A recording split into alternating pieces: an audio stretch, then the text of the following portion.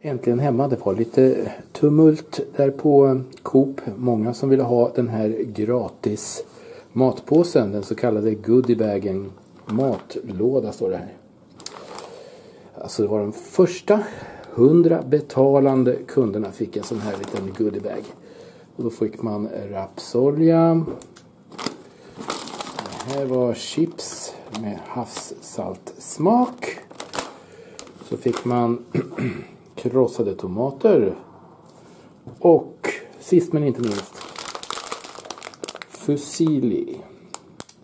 Alltså pasta. Men det var inte det sista utan jag hittade någonting till och det var mörk choklad 70% kakao. Ekologisk. Det här var alltså det som de första hundra betalande kunderna fick på Coop. Det var alltså eh, den första dagen som Coop höll öppet i Ulstämma.